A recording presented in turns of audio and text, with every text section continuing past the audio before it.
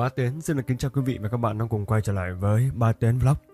Và quý vị thân mến, ngày hôm nay thì uh, mời uh, quý vị và các bạn sẽ cùng đến với tập số 21 của bộ truyện Vợ tôi là Lệ Quỳ. Ở tập số 20 thì gần như là Húc Minh đã sở hữu được uh, thanh uh, sát kiếm kia rồi. Nhưng mà hắn còn phải đi siêu độ cho những âm hồn ở trong cái kiếm đó thì hắn mới hoàn toàn trở thành chủ nhân chính thức của cái kiếm đó. Và có một tình tiết vô cùng hấp dẫn được bật mí ở phần cuối của tập 20. Đó là có một tổ chức bí ẩn đang trồng một loại hoa, gọi là hoa bỉ ngạn, ở dòng sông Minh Hà. Cái hoa này nếu như mà là người sống ăn vào thì sẽ có được năng lực siêu nhiên. Còn nếu như mà là ma quỷ ăn vào thì chúng sẽ càng trở nên hung dữ và tàn bạo hơn. Và mời các bạn sẽ cùng đến với tập số 21 ngày hôm nay.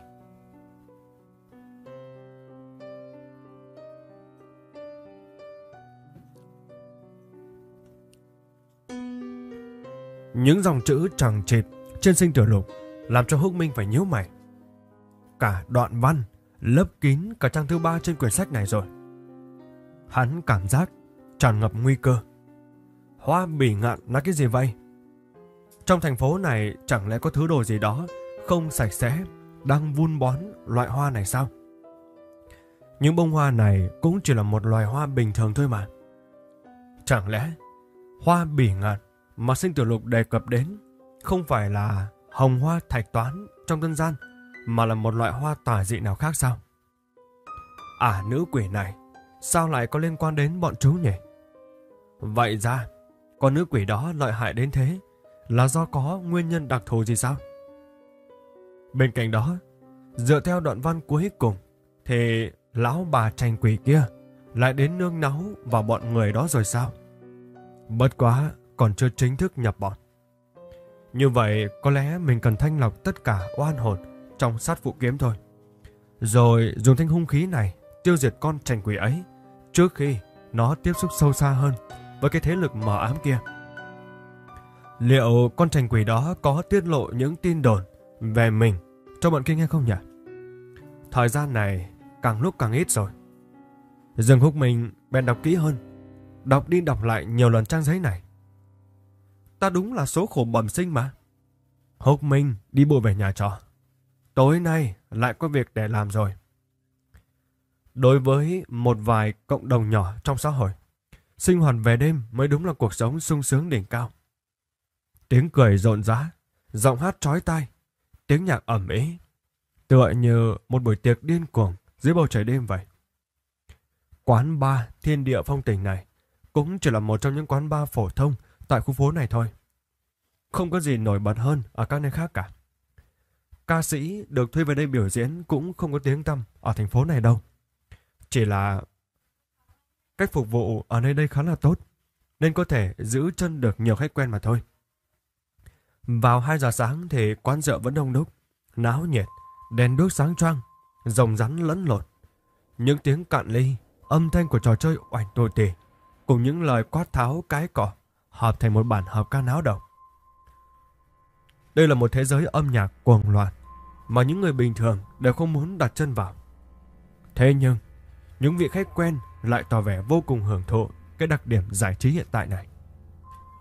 Trên sân khấu nhỏ, một nam ca sĩ với vết thẹo nhỏ đang cầm micro trên tay, thỏa sức gào thét.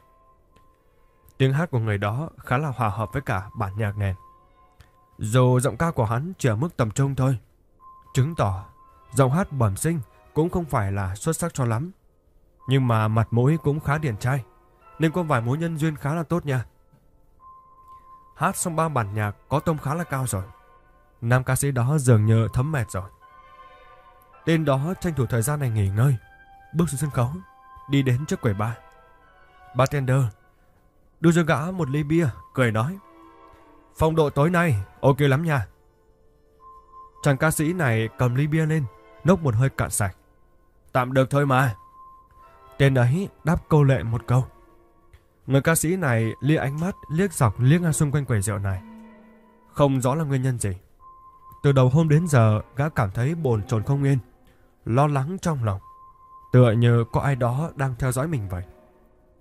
Thế nhưng, tại quán rượu huyên náo này, trụy lạc này, có rất nhiều người đang ngắm nhìn gã. Vì thế, gã khó mà tìm ra ánh mắt đang dò xét kia. Gã cảm thấy vô cùng lo lắng, tim đập nhanh hơn bình thường rất nhiều. Bartender này lại mỉm cười trong kẹo. Vừa rồi, có mấy cô em xinh tươi bên kia đang trò chuyện về anh đấy. Xem ra anh sắp được hưởng phúc nữa rồi nha. Nam ca sĩ nhún vai một cái, dừng dưng nói. Chỉ là phụ nữ thôi mà, anh mày muốn là có rồi. Tên ấy vừa cười, vừa cùng anh nhân viên pha chiếc ly nhìn sang phương hướng mà mấy cô gái này đang tụ tập. Bọn họ tuổi tác không lớn lắm, dáng dấp trung học sinh vậy. Đến đây định học đòi làm người lớn sao? Tên ca sĩ này thấy vậy thì bên nở nụ cười tươi. Nhưng cô gái đó toát ra một vẻ hưng phấn khó tả khi lần đầu tiên tiếp xúc với cả thế giới về đêm muôn màu này. Muốn cua mấy em như thế này thì có khó gì đâu. Người này bật cười một cái, không thèm nhìn nữa. Gã đã tìm được đối tượng để lát nữa ra tay rồi. Kể như thử với em một lần vậy. Gã không hề có cảm giác ác cảm với những cô nàng chưa nếm trải sự đời thế này bao giờ. Dù gì đi nữa thì mấy con bé này còn rất non. Người ca sĩ liếm môi một cái, sau đó gọi thêm một ly bia khác nữa. Tên này ngồi chờ đợi chỗ gần 20 phút mới thấy cô gái mục tiêu của mình đứng dậy, đi về phía hướng nhà vệ sinh. Đó là một cô gái với mái tóc nhuộm bảy màu sắc cầu vồng. Dù không trang điểm đậm, nhưng quần áo lại khá là hở hang.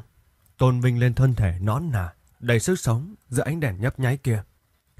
Nét trẻ trung, cùng sự quyến rũ hợp lại trên cùng một người, tạo ra một sức hút kỳ lạ. Tựa như là một sự cám dỗ chết chóc, làm tên ca sĩ này khó mà rời mắt khỏi cô nàng được. Trong khi gã bartender đang nở một nụ cười mờ ám, thì tên ca sĩ này cũng đứng lên rồi.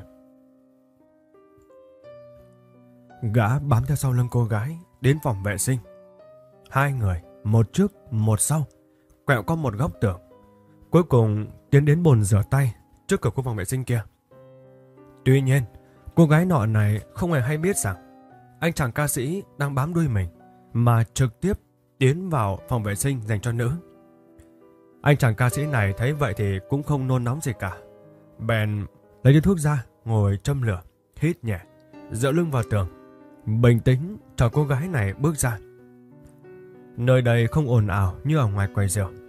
Mặc dù có âm thanh huyên náo truyền đến, nhưng nếu đem so sánh với cái thế giới có tần số sử dụng âm thanh cao ngất ngưỡng kia, thì tại nơi này có thể xem được như là yên tĩnh vậy. Nam thanh niên díp một hơi thuốc lá thật sâu, để từng ngụm khói lách dọc qua cuống phổi, hưởng thụ cái cảm giác đê mê từ điếu thuốc cháy dạo mang lại. Gã không để ý đến có tiếng bước chân nặng nề ngoài cửa đang dần tiến đến, mà chỉ lo tập trung vào bức tường trước mặt thôi. Mong chờ bóng hình của con mồi nhỏ sắp bước ra ngoài. Chàng ca sĩ này phải dáng vẻ thật điềm tĩnh. Như vậy mới dễ gây ấn tượng trước mặt em gái xinh đẹp kia.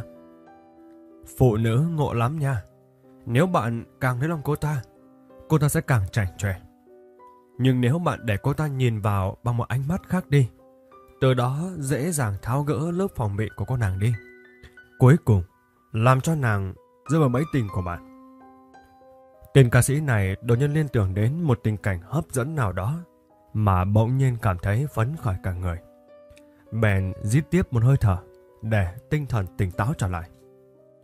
Trong khi đó, tiếng bước chân nặng nề kia đã tiến sát đến bên người ca sĩ này rồi. Người đó đứng lại. Bóng dáng cao to ấy chắn ngang ánh đèn tạo nên một bóng đen phủ cả người ca sĩ rồi. Tên ấy cảm thấy khó hiểu. Bèn ngoái đầu lại, quan sát xem người vừa đến là ai.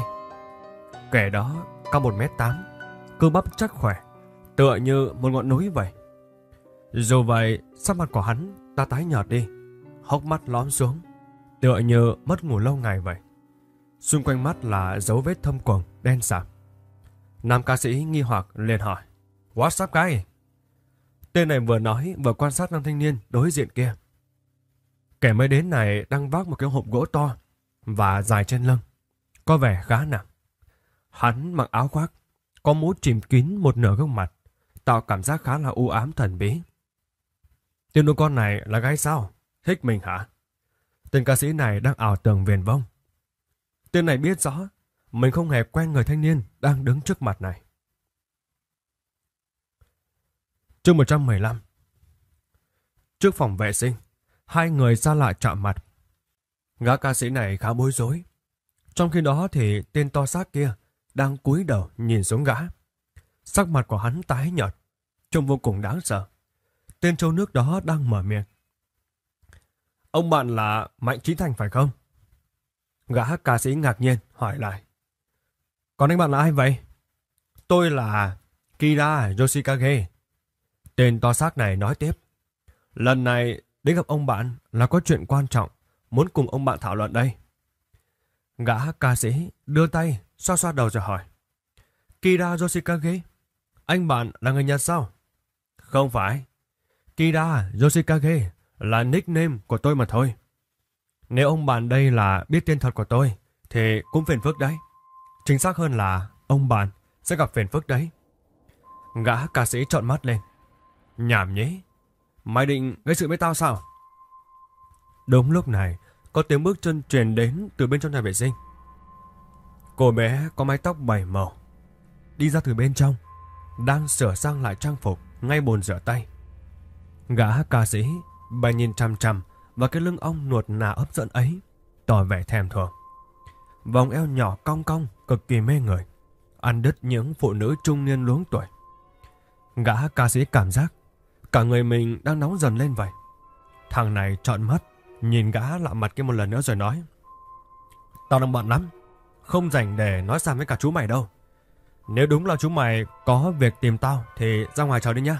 Lát tao tính. Ok men. Gã ca sĩ đuổi tên thanh niên lạ mặt này đi, tránh ảnh hưởng đến công cuộc tán gái vĩ đại của gã.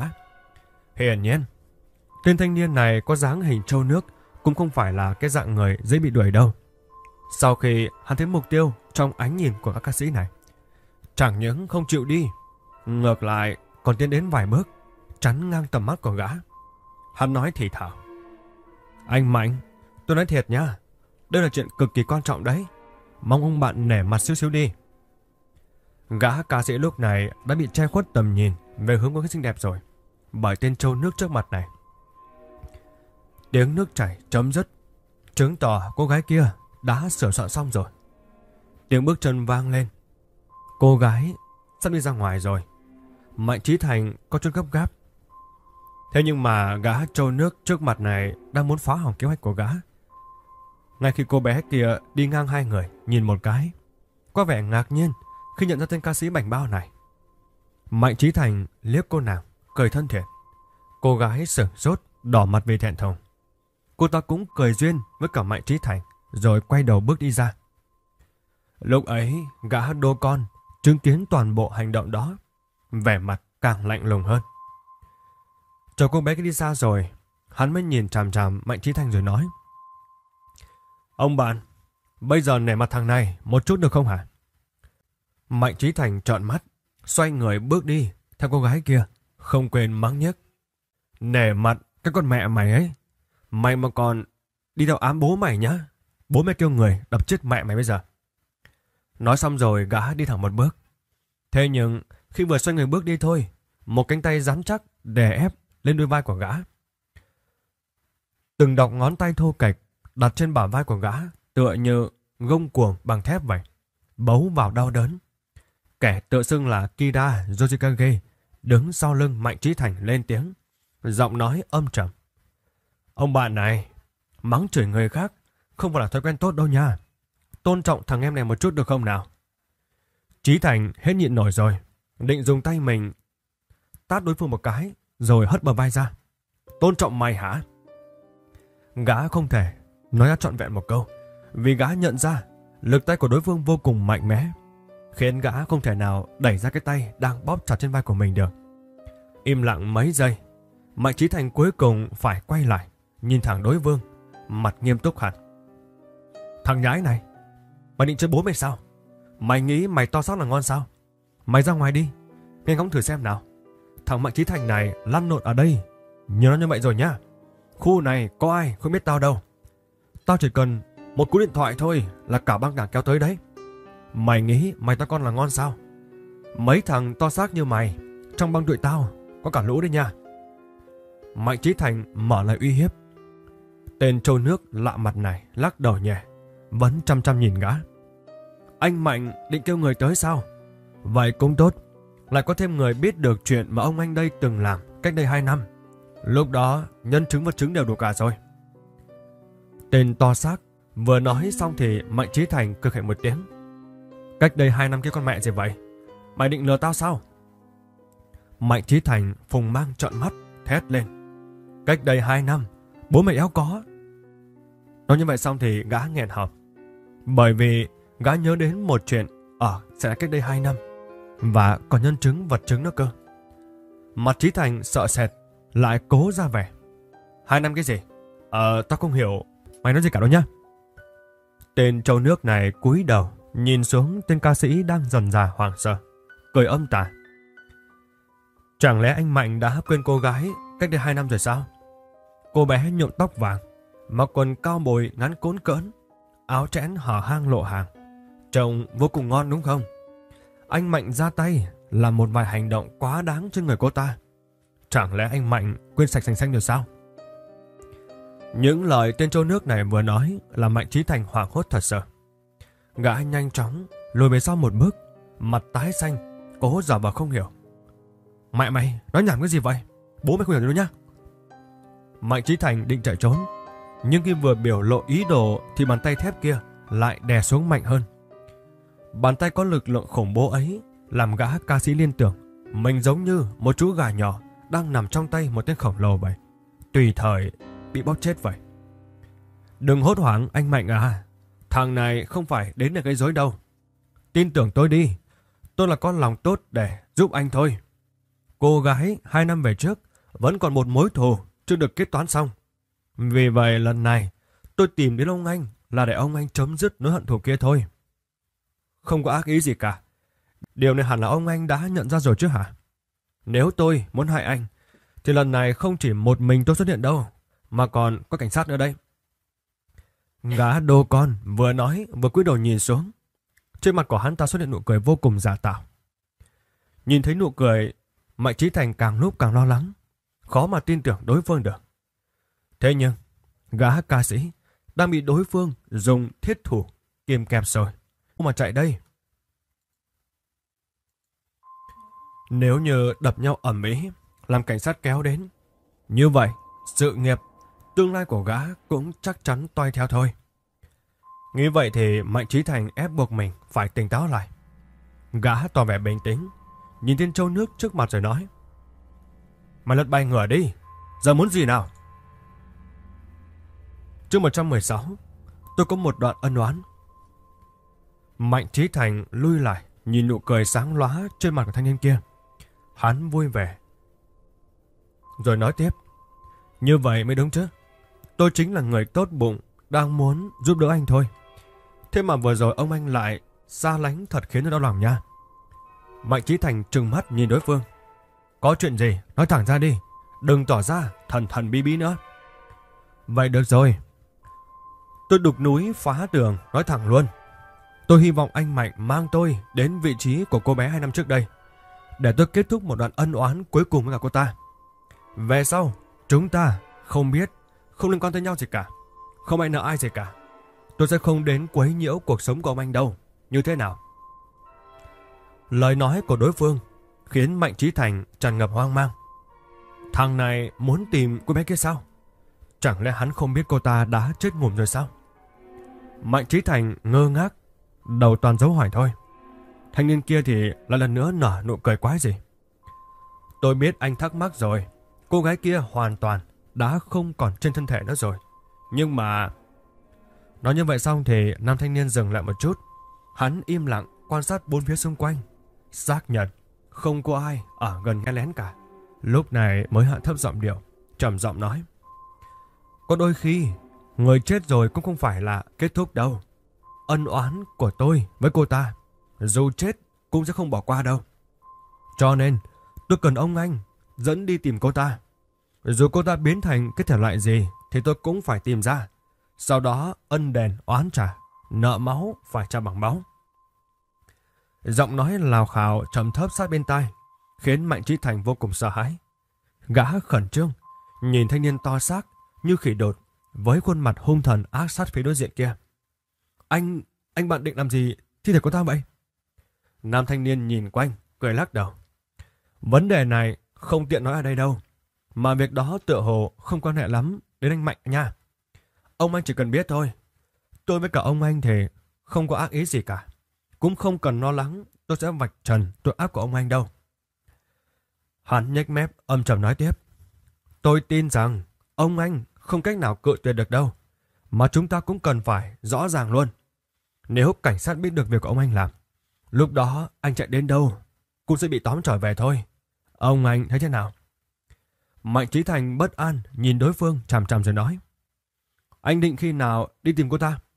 Đương nhiên là bây giờ luôn rồi. Càng nhanh, càng tốt. Gã nhìn đồng hồ rồi nói. Tốt nhất lúc này, đêm tối đây này. Bốn bề vắng lặng. Chớ lỡ ra, bị người khác phát hiện ra. Cả ông anh và tôi đều có kết quả chẳng hay ho gì đâu. Mạnh Trí Thành nghĩ nghĩ nói. Ok, vậy giờ đi nha. Tao đi vào quán để nói với cả một tiếng xong rồi đi nha. Nam thanh niên mỉm cười gật đầu. Nhân tiện phiền phúc anh mạnh kiếm dùm tôi một sợi dây thừng và bao tải đi. Một cái sẻng nữa. Tôi đi vội quá thì không chuẩn bị mấy món này đâu. Mạnh Trí Thành có chút mộng bức. Anh bạn đến cùng là muốn làm gì vậy? Trước mắt, tên thanh niên mỗi lời nói ra đều tràn ngập vẻ quái dị. Đêm hôm khuya khoát, muốn đi tìm mộ của thi thể kia khả năng đã thối giữa rồi. Sau lưng thì mang một hộp gỗ lớn, còn đòi chuẩn bị sẻng, dây thừng, bao tải các thứ nữa. Càng nghĩ thì càng khiến người ta sợ hãi ghê người.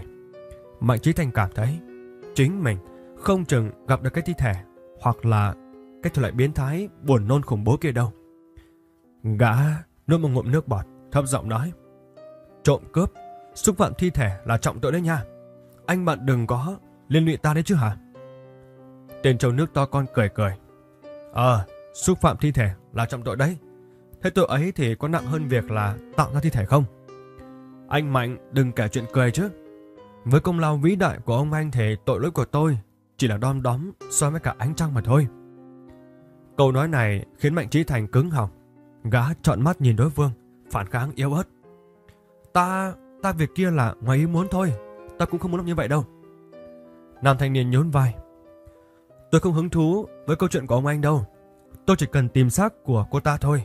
Cho nên, anh Mạnh không cần phải giải thích làm gì cho mệt đâu. Chuẩn bị lên đường thôi. Nói xong thì hắn trực tiếp bước ra ngoài. Mạnh Trí Thành trừng mắt, nhìn bóng lưng đối phương, rồi giây lát sau cũng đi theo hắn thôi. Gã biết rõ, tên này không phải loại người dễ lừa gạt đâu. Quan trọng nhất là đối phương không biết từ đâu mà đến, mà hiểu rõ được câu chuyện hai năm về trước như vậy. Hiện tại mình bị hắn nắm thóp rồi.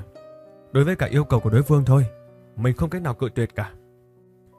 Dù là gã biết rõ tên trâu nước này muốn đi tìm thi thể kia, hắn sẽ không làm chuyện gì tốt lành đâu. Nhưng gã cũng vô pháp phản kháng thôi. Chỉ vì có thể ngoan ngoãn dẫn đường thôi.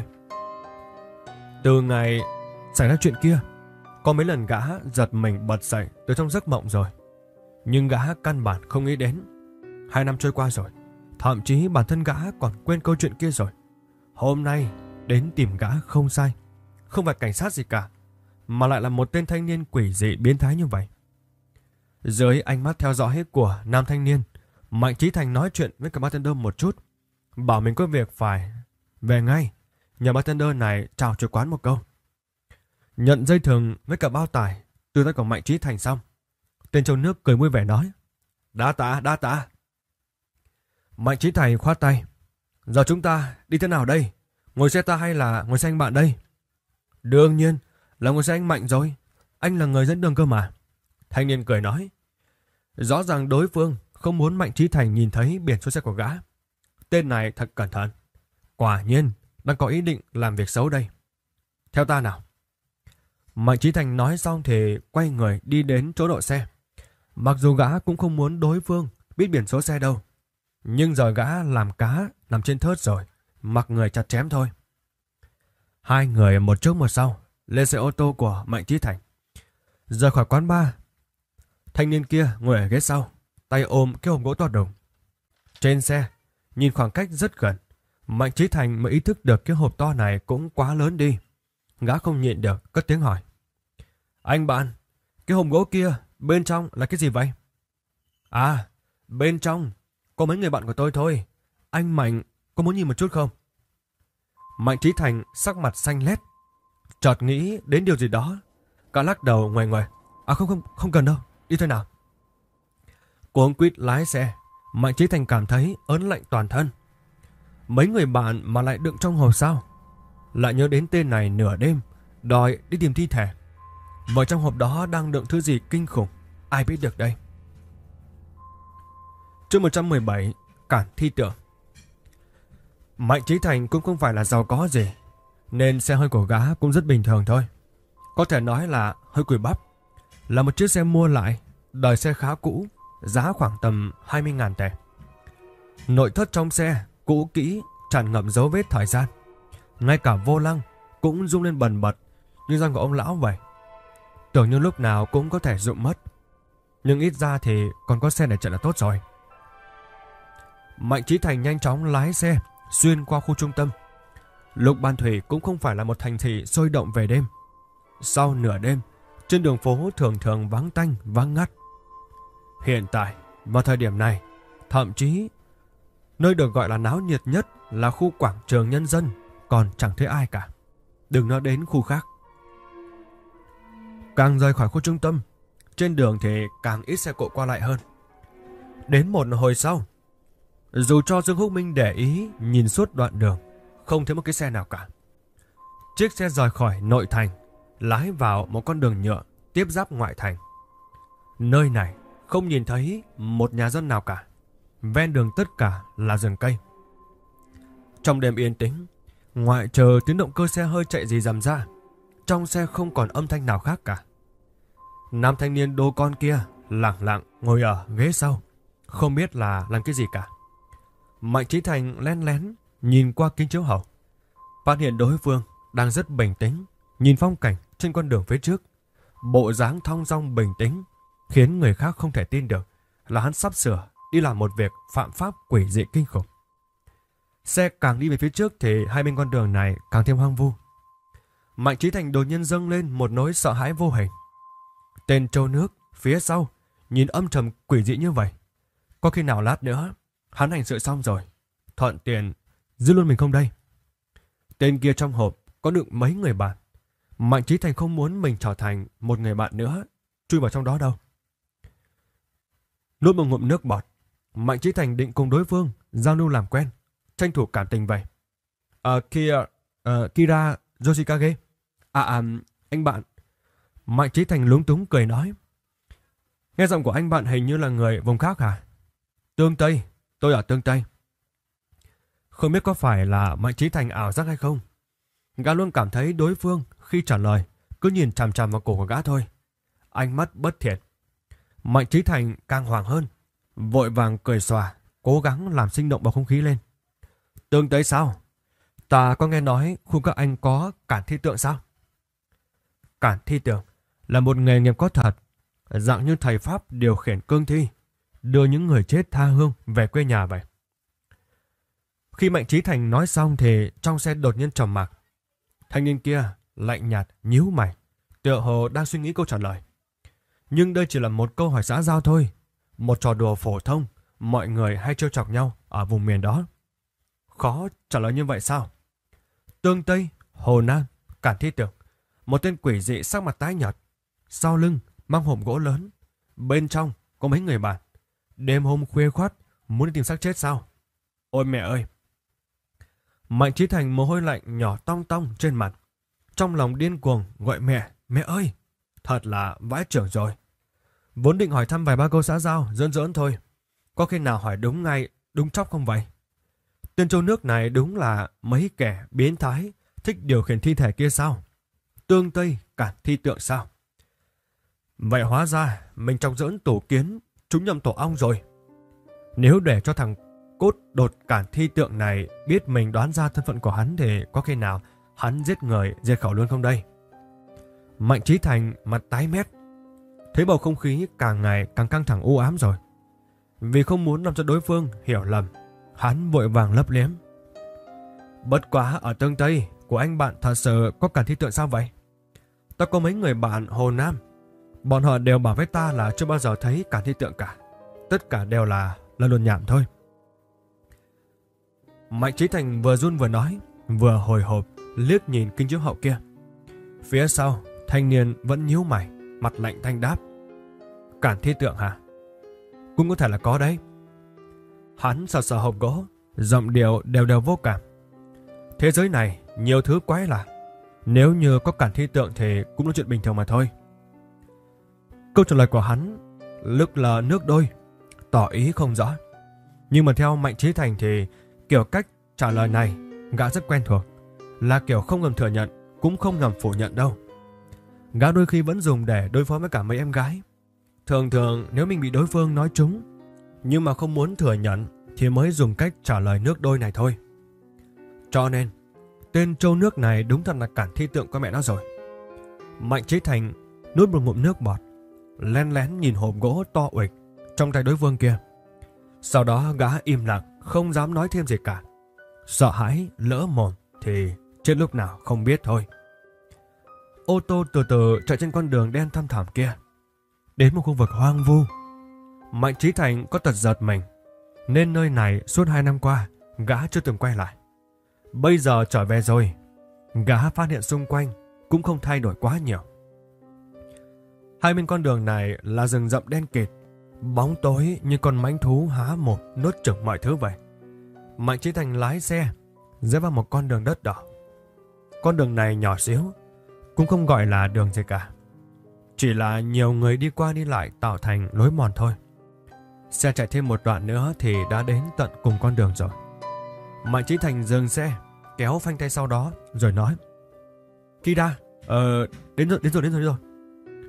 Hiện tại thì Mạnh Trí Thành đối với cả tên châu nước to đùng ở phía sau này rất cung kính. Ở nơi hoang dã này, thể trạng của đối phương hoàn toàn có thể nghiền ép gã. Bất luận chuyện gì xảy ra, gã có kêu thì cũng chẳng có ai biết mà đến cứu đâu. Sống chung với cả bọn đầu gấu xã hội đen lâu ngày rồi, nên Mạnh Trí Thành cũng biết lúc nào nên co đầu lại. Gã nhất định phải khiến đối phương tin tưởng gã không cảnh giác gì cả, không có uy hiếp gì cả.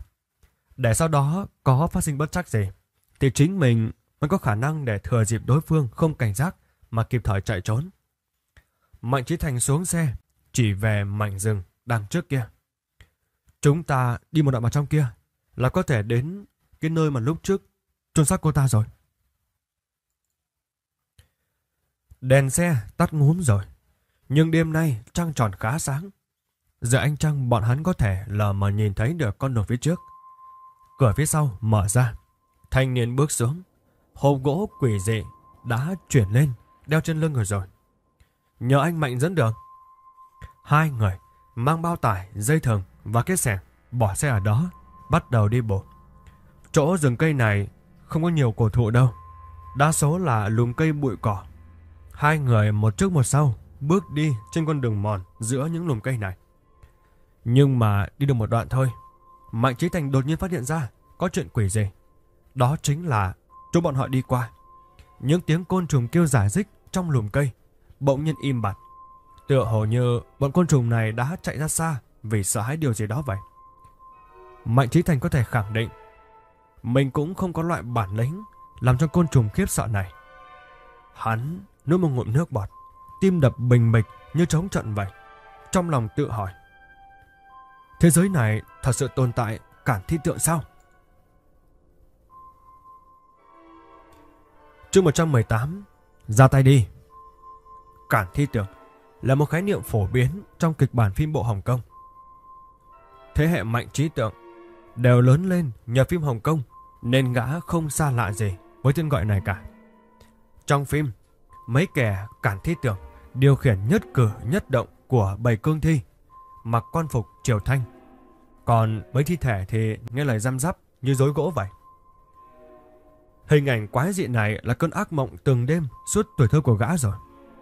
Thế quái nào đêm nay gã lại xui xẻo đụng độ một cản thi tượng hàng thật, giá thật thế này.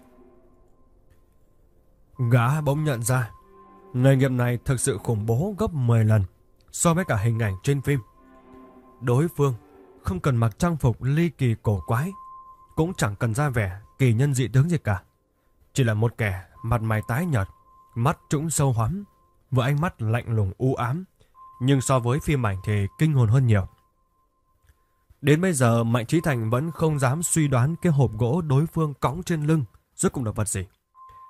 Kẻ yêu bóng vía như gã ta, sợ nếu như nghĩ sâu thêm một chút nữa thôi, thì chân sẽ nhão như cá khoai vậy. Có muốn chạy thì cũng không có tâm tư mà chạy nữa rồi. Bọn họ người trước kẻ sau tiến vào nơi rừng sâu núi thảm này. Dọc đường toàn bộ côn trùng đều im thiên thít, không một tiếng kêu gì cả. Dường như cả lũ chúng nó đều muốn thoát thân thật nhanh thôi, tránh họ như tránh tà vậy. Thậm chí, khi cả hai đi qua một gốc cây, có hai con chim nó đang ngủ trong tổ. Ngay lúc ấy, bỗng chúng nó giật mình, kêu lên đầy hoảng sợ, vội vàng đập cánh liều mạng bay đi. Nghe tiếng chim kêu thê lương thảm thiết như vậy, như bị đòi mạng vậy. Mạnh Trí Thành sợ hãi càng căng thẳng. Rốt cục, cái hồ lô sau lưng ông tướng này chứa thuốc gì đây? Đến chim cũng hồn vía lên mây như vậy sao? Không lẽ lưng cậu ta toàn hài cốt với quỷ sao? Nửa đêm gà gáy, ông tướng này có đi tìm xác cô bé kia. Không lẽ muốn luyện cô ta thành cương thi sao? Nhưng vì sao bọn chúng lại chọn đúng cô bé này? Càng đáng sợ hơn là vì sao thằng này lại nắm rõ như lòng bàn tay về gã vậy? Vì sao lại trực tiếp tìm gã? Khi cô bé kia say xỉn rồi mất tích, cảnh sát cũng không thẩm vấn gã cơ mà. Vậy vì sao một người ngoài như ông tướng này lại chỉ điểm, chỉ mặt đích danh của mình vậy? Chẳng lẽ thằng khốn này lợi hại hơn là cảnh sát sao? Mạnh Trí Thành cực kỳ tò mò, không hiểu đối phương làm cách nào để tìm ra mình. Nhưng với cái bầu không khí lạnh chẳng kém gì đỉnh núi tuyết thế này thì gã làm sao dám mở miệng đây. Gã đoán chừng chỉ cần mình lại nhảy một câu thôi, ông tướng kia sẽ giết gã một cách nhanh chóng rồi luyện thành cương thi luôn. Gã nào đã muốn chết như vậy đâu, lại càng không muốn chết rồi cũng chẳng được yên thân đâu. Còn bị người ta huấn luyện thành cương thi để sai bảo nha. Mạnh Trí Thành cố gồng mình lên để không suy nghĩ linh tinh nữa. Nếu không như vậy thì chân của tên này đều đã mềm nhũn rồi. Cả hai người đi bộ trong rừng hơn 20 phút. Đường đi càng ngày càng vắng vẻ. Xung quanh không có dân cũng chẳng có đất đai gì cả. Đúng là thâm sơn cùng cốc mà. Cũng bởi ở đây hoang vu hẻo lánh quanh năm, chẳng thấy bóng người, nên Mạnh Trí Thành mới lựa chọn làm chỗ giấu xác.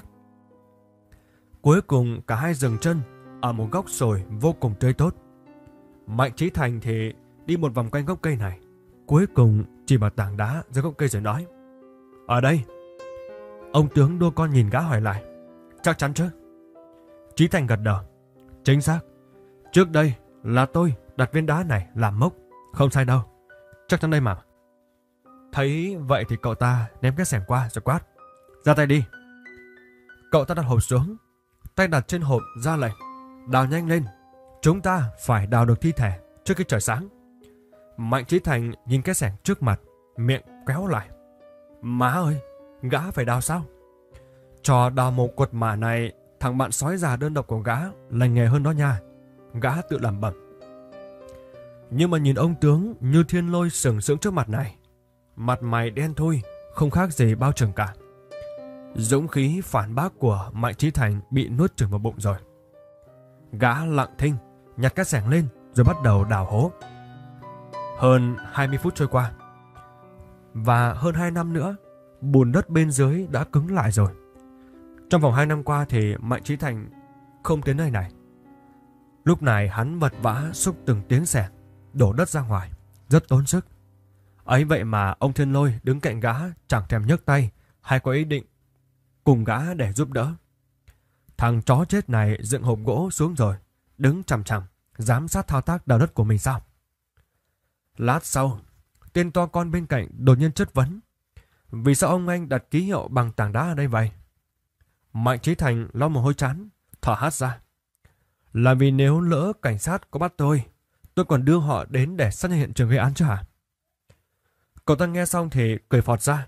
Xác nhận hiện trường sao? Trong bóng tối có tiếng cười khẩy. Ông anh còn thật thú vị. Dẫn đến xác nhận hiện trường cơ đấy hả? Ông đoán chắc mình sẽ bị cảnh sát bắt sao?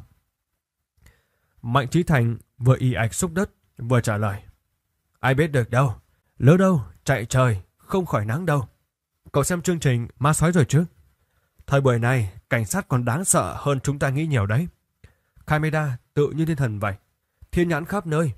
Treo đầy đường vậy. Chỉ cần cậu phạm tội thôi. Cảnh sát kiểu gì cũng tìm ra thôi. Chỉ là chuyện sớm hay muộn mà thôi. Mạnh Trí Thành vốn định nói để đe dọa đối phương. Để hắn ta không hại gã. Nhưng mà ông tướng kia lại cười khẩy. Nếu mà ông anh đã biết cảnh sát đáng sợ như vậy, sao còn dám giết người? Mạnh Trí Thành chật vật vét bùn, vừa xoa mồ hôi chán, vừa hồn hèn đáp. Tao... Ban đầu tôi không có ý đâu. Là cô ả khùng điên lên, đêm khuya đứng một mình trên đường, vẫy xe xin đi nhờ. Ả nói mình không mang theo tiền đâu, nhưng sẽ hậu tạ bằng cách khác. Lúc đó ả ta vừa nói vừa kéo cổ áo xuống thấp để tôi nhìn thấy áo ngực của ả ta nữa. Nhìn cô ả lẳng lơi, phóng đãng như thế.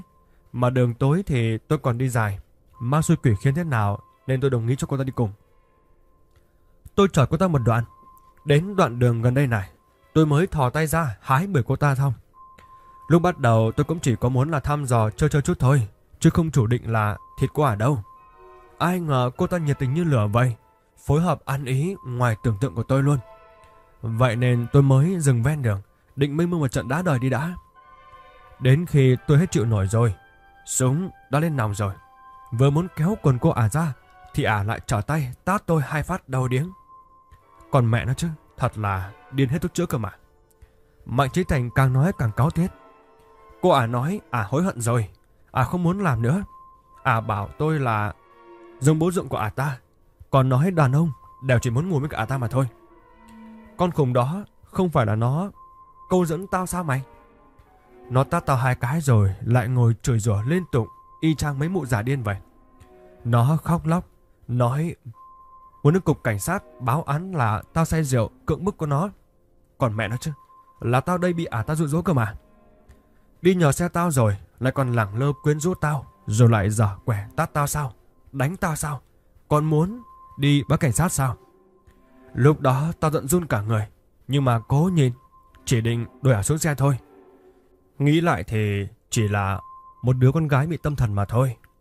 Tao không lợi dụng được, chẳng lẽ cũng không trốn nổi sao? Ai ngờ con nhỏ đó cứ bám lấy không buông cơ mày à? Không chịu xuống xe. Tao nổi điên, tát cho ả hai cái. Chương 119 Kể hết tội ác của anh bạn đi. Xem ra Mạnh Trí Thành thực sự rất tức giận. Dù thời gian đã qua hai năm rồi, khi gã kể lại sự việc hôm đó, toàn thân gã run rẩy vì tức. Tên to con, chỉ đứng bên trong bóng tối thôi, lặng lặng nhìn gã. Trong bóng đêm, Mạnh Trí Thành không thấy rõ nét mặt của hắn gì cả. Nhưng mà tên to con này dường như rất thích nghe chuyện này. Đối phương hỏi. Sau đó thì sao nào? Anh bạn giết cô ta sao? Mạnh Trí Thành đứng ở đó thò hồn hển. Có vẻ thấm mệt rồi. Cũng có vẻ là tức giận nữa. Một lát sau thì gã hung hăng lấy xẻ xuống đất. Có vẻ như là đang chút giận vậy. Gã nói. Không có. Khi đó thì ta không hề muốn giết nó đâu. Mày không tưởng tượng ra được cái con quỷ cái đó thần kinh, biến thái thế nào đâu. Sau khi ăn hai cái tát của tao rồi, à đột nhiên tỉnh táo lại, không nói gì cả.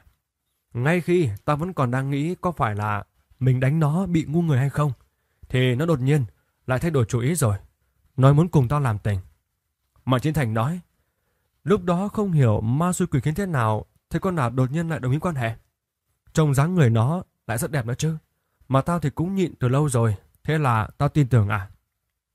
Ngay từ đầu, nó rất phối hợp. Nhưng chơi được có một nửa thôi thì à ta đột nhiên nói tao làm đau à. Rồi à đẩy tao ra, ngồi khóc ở đó. Sau đó dưới chân, cái con quỷ cái đó bắt đầu chảy máu. Mạnh Chiến Thành nói, sau đó con điên này nói với tao là nó có bầu, nói rằng tao hại chết con của nó rồi. Tao còn đang hoang mang, ả liền vừa khóc vừa lao đến bóp cổ tao. Còn mẹ nó chứ, đúng là tay may vạ gió mà. Mạnh Chí Thành tức giận nói, tôi liều mạng giãy rùa, muốn đẩy nó ra. Nhưng mà con điên này thà chết, chứ không buông tay đâu. Cuối cùng, tao tức giận quá, bóp cổ lại nó. Tao dùng hết sức từ thời bố mẹ đến bây giờ để bóp cổ à. Nói thật lúc ấy tao chỉ muốn ép nó buông tay ra thôi. Không hề muốn giết chết nó đâu. Kết quả là người bóp qua, tao bóp lại. Đến khi tao nhanh chóng ngất đi, nó mới buông tay lòng ra. Một lát sau thì tao tỉnh táo lại, phát hiện ra con bé đó đã chết rồi. Mạnh Trí Thành mặt sụi quẩy nói. Anh bạn nói xem, tao có ăn không chứ? Tự nhiên, chọc vào người điên rồi. Tên to con đứng ở nơi đó nhìn hắn nhún vai, từ chối cho ý kiến gì cả. Bỗng nhiên trong bóng tối, một tiếng kêu thê lương, thảm thiết vang lên. Trong nháy mắt, nghe thấy âm thanh của cô gái này, Mạnh Trí Thành bị dọa đến nhảy dựng lên. Mặt gã hoảng sợ. Má ơi cứu con! Gã bỗng nhiên như bị điện giật về sau vậy. Kinh hoàng nhìn bốn phía. Ai đang la hét vậy? Tên to con, gõ gỗ hộp gỗ phía sau. Sau đó rất bình tĩnh nói. Có người nói hết sao? Đâu có đâu. Có phải anh bạn nghe lầm hay không vậy? Mạnh Trí Thành mặt tái nhợt. Thế nhưng tao... ừ, rõ ràng tao nghe thấy tiếng của một cô gái anh kêu cứu mà. Tên to con này rất bình tĩnh. Tôi có thể cam đoan với anh là không có ai kêu cả đâu. Nói xong rồi, hắn vác cái hộp gỗ nặng nề trên vai ra. Sau đó, đi phía trước mấy bước, nhìn vào cái hố to kia. Tên to con nhẹ gật đầu. Gần được rồi đấy. Anh bạn nghỉ một chút đi. Đưa cái sẻng lên nào. Tiếp theo, để tôi đào được rồi. Hiện tại thì trong đầu Mạnh Trí Thành còn vang vẳng tiếng kêu của cô gái thảm thiết kia. Gã không quan tâm những chuyện khác nữa rồi. Gã đem sàng đưa cho gã to con kia, đổi cách xưng hô, khẩn trương hỏi. Anh, ờ, anh Kira Yoshikage, ờ, tôi đã dẫn anh đến, đến nơi này rồi. Mà thi thể thì cũng đào xong rồi, tôi có thể về chưa? Âm thanh vừa rồi làm gã hoảng sợ. Nơi núi rừng hoang vắng, tại sao đột nhiên có tiếng phụ nữ kêu cứu? Gã to con cầm lấy cái sẻng, cười cười lắc đầu. Ờ thật có lỗi, tôi còn một chuyện cần anh bạn giúp cơ. Gã to con ném bao tải cho Mạnh Trí Thành. Anh bạn tự đội lên đầu đi, đừng để tôi phải ra tay nhá. Mạnh Trí Thành trợn mắt. Anh, anh định làm gì? Tên châu nước này nhìn một đoạn thi thể lộ ra ngoài trong cái hố kia. Tôi đang bảo vệ anh bạn đấy. Hắn nói. Vừa rồi tiếng hét của cô gái kia, anh cảm thấy là có quen thuộc không? Có phải rất giống cô gái hai năm về trước không? Nghe được câu này thì hai chân Mạnh Trí Thành nhũn ra. Anh Kida Yoshikage. Gã dường như sắp khóc đến nơi rồi. Anh đừng làm tôi sợ nha. Gã to còn nhốn vai. Tin tôi đi. Ngoan ngoãn. Trừ mau tải lên đầu đi. Sẽ không làm sao đâu. Ngoan đi cưng ơi.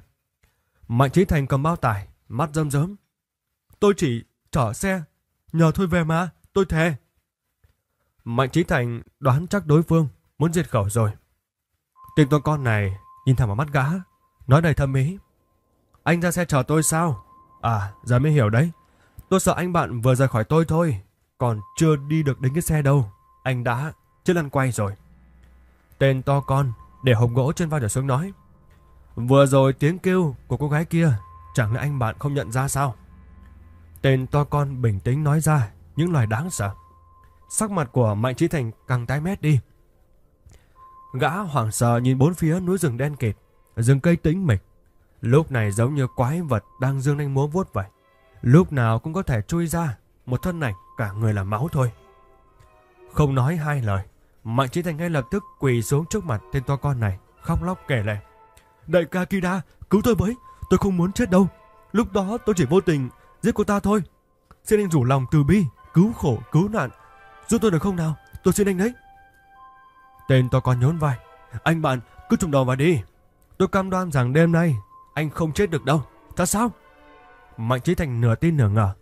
Tên to con vỗ vai gã sẽ nói. Nhìn người anh thì lèo khao lèo khèo thế này, yếu như vậy. Nếu tôi muốn hại anh thì đâu cần âm mưu gì đâu. Tôi cho anh bạn ăn một cái sẻng, liệu anh còn sống được không đây? Mạnh Trí Thành trần chờ mấy giây, nhìn tên trâu nước như ôn thần trước người này. Gã cũng đành tin vậy. Thế là gã vội vã, nghe lời, dùng bao tải trùm lên đầu. Bên cạnh, tiếng nói của kẻ lạ mặt kia bỗng đồng thời vang lên. Ok baby, bây giờ tôi sẽ trói anh lại nha. Anh cứ ngoan ngoãn, quỳ ở miệng hố đi. Dù anh bạn nghe thấy cái gì đi nữa, dù có chuyện gì xảy ra, anh bạn không được kêu la bất kỳ tiếng nào đâu. càng không được bỏ chạy. Ngoan ngoãn quỳ ở đây đi, cúi đầu xuống, hiểu không? Tên to con nghiêm túc cảnh báo. Anh bạn mà bỏ chạy hoặc kêu la, làm đối phương kích động. Tôi cũng không đảm bảo anh còn sống qua đêm nay đâu. Quỳ gối trước miệng hố, Mạnh Chí Thành cảm giác hai tay bị trói sau lưng rồi. Nhưng mà gã không dám động đậy. Đầu gã gật gật, dường như sợ tên to con này vứt bỏ gã mà đi vậy. Nhìn thấy Mạnh Chí Thành ngoan ngoãn phối hợp, Húc Minh rất hài lòng. Hắn mở hộp gỗ ra, lấy ra thành sát phụ kiếm bự tràng. Sau đó, Dương Húc Minh mở chức năng ghi âm của điện thoại ra, đưa về phía gã đang quỳ trên mặt đất kia. Trong bóng tối, Dương Húc Minh vác thanh kiếm to tướng trên vai, nở một nụ cười. Bây giờ, nói lại chuyện của anh bạn một lần nữa đi. Hãy thành thật một chút đi. Nếu như còn nói láo nữa, tôi cũng không cứu được anh đâu. Chương 120 có quỷ. Giữa màn đêm núi rừng sâu thẳm này, Mạnh Chí Thành quỳ gối bên cạnh hố chôn xác bị bao tải trùm lên đầu. Hai tay bị trói sau lưng rồi. Dây thừng còn thừa bị Húc Minh buộc lại trên cây sồi trước người của hắn. Cho dù Mạnh Chí Thành muốn chạy trốn, cũng không chạy được. Xong xuôi, Dương Húc Minh mới thành thơi, lấy điện thoại ra để ghi âm lại. Yêu cầu Mạnh Chí Thành khai thật sẽ được khoan hồng. Mặc dù đêm nay hắn muốn đến siêu độ oán hận của nữ quỷ, nhưng cũng không có nghĩa là Húc Minh bỏ qua tên tội phạm cưỡng hiếp giết người này.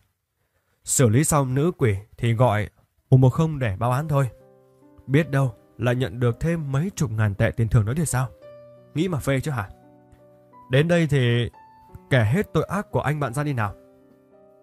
Dương Húc Minh vác thanh sát phụ kiếm, nói với cả Mạnh Trí Thành đang quỳ bên hố. Lần này phải ăn ngay, nói thật nha chưa? Bên cạnh hố, Mạnh Trí Thành quỳ đến phát run rồi. Gã hoàng sợ.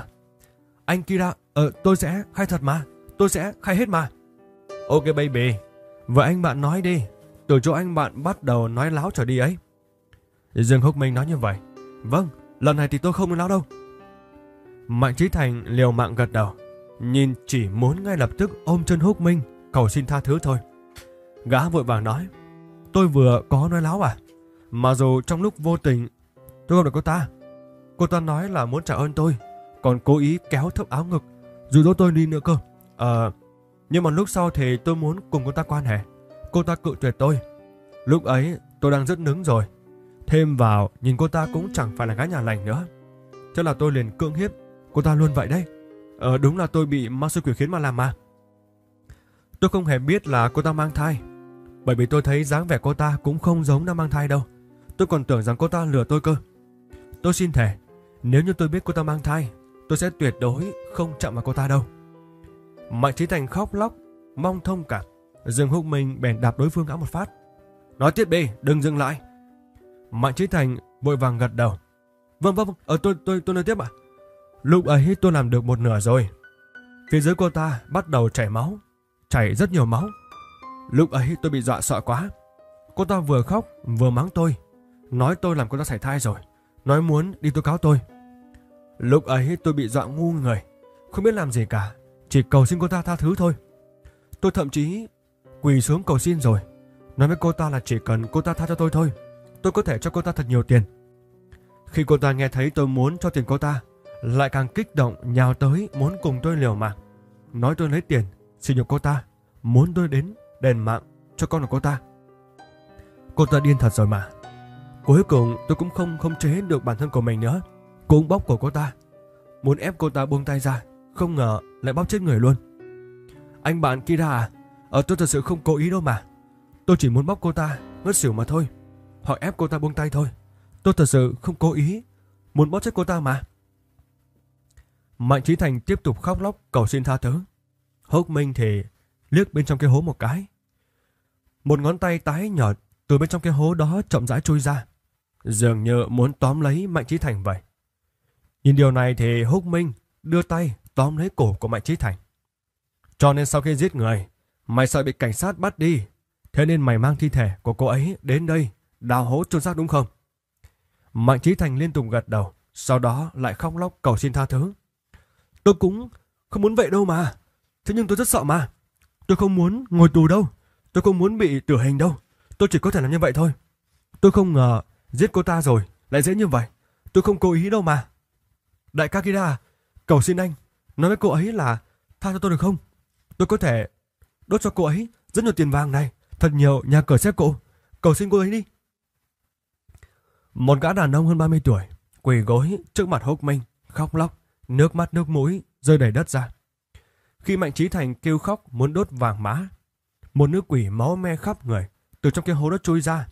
Nó oán hận trừng mắt nhìn Mạnh Trí Thành, khàn giọng giận dữ. Tao nhổ vào mấy đồng tiền dư bẩn của mày. Bà mày muốn lấy cái mạng chó của mày đây này. Tiếng kêu giống thảm thiết của nữ quỷ vang lên khắp vọng núi rừng. Mạnh Trí Thành bị dọa đến mức nhảy dựng cả người lên. Có quỷ mà hãy cứu con. Gã quay người muốn chạy ra phía ngoài. Nhưng gã vừa chạy không được bao xa thì phải dừng bước thôi. Dây thừng buộc trên cây sồi kia đã giữ hắn lại rồi. Mạnh Trí Thành hét lên kinh gái. Anh bạn kia đã, tôi bị quỷ bắt rồi. Nhanh cứu tôi, cứu tôi với. Rất hiển nhiên, Mạnh Trí Thành còn tưởng tượng rằng đã bị quỷ tóm, cho nên không chạy được. Nữ quỷ khắp người là máu đã từ từ bỏ ra ngoài rồi. Nhưng à không đi tiếp được vì có một tên to con cầm thanh sát phụ kiếm to tướng cản được. Trong bóng tối, Húc Minh ho khan một tiếng rồi nói Cái gì ra cái đấy nha Vị tiểu thư này Trước khi em báo thù Anh có một chút ân oán muốn cùng em chấm dứt Không biết em có thể nhã hứng nó không nhỉ Đôi mắt nữ quỷ nhìn hắn chằm chằm Nhưng nữ quỷ chỉ phát ra tiếng gầm rú Oán hận phẫn nộ Đều phải chết cả Bọn mày đều phải chết cả Toàn bộ chúng mày đều phải chết hết Nhìn qua thì không cách nào để nói chuyện được rồi Đối với cả việc này thì Húc Minh có chút bất đắc dĩ rồi. Quả nhiên, quỷ càng mạnh, chấp niệm càng sâu, tư duy logic càng hỗn loạn. Vậy nên, Lý Tử không chịu nói chuyện, cũng không phải là do cô ấy đâu, mà tất cả lệ quỷ hung mãnh đều như vậy cả. Trừ báo thù và oán hận ra, bọn chúng giống như là không quan tâm đến ai khác cả. Đối với cả việc này Húc Minh chỉ có thể thở dài thôi. Xem ra không thể ngồi xuống tâm sự được rồi. Dương Húc Minh cầm đại kiếm trong tay, nhắm vào nữ quỷ trước người này. Đến phang anh, đi em ơi. Trong bóng tối, thanh sát phụ kiếm vạch một đường cong giữa không trung, chém tới đập trúng nữ quỷ này. Ách! Tiếng kêu của nữ quỷ kia thảm thiết thê lương vang vọng khắp núi rừng. Một kiếm này của Húc Minh đã chém nữ quỷ làm hai rồi. Sau đó Dương Húc Minh lao thẳng tới, khẽ gọi tiểu tư. Một đôi tay tái nhợt từ trong túi áo của Húc Minh chui ra, bắt lấy nữ quỷ đã bị chém làm đôi này. Sau đó đôi tay thu lại. Hai đoạn thân thể của nữ quỷ này ngay cả dãy ruộng đều không thể làm được, ngay lập tức bị tiểu tư hút vào bên trong quyển nhật ký kia. Ok, và các bạn thân mến, mình đã kết thúc tập ngày hôm nay rồi. Ngày hôm nay thì à, ngày đầu tiên mà Húc Minh khai kiếm với việc là đi giết cô bé nữ quỷ kia. Một cô à, nữ quỷ hồi còn sống thì chắc khá là sexy và ngon đó. Vậy là chắc là kết thúc ở cái phần giết quỷ ở đây rồi nhưng mà hắn sẽ còn bắt đầu đi sâu hơn vào cái tổ chức của Hoa Bỉ Ngạn nữa. Thì à, hẹn các bạn ở tập sau nha. Còn bây giờ xin chào, hẹn gặp lại.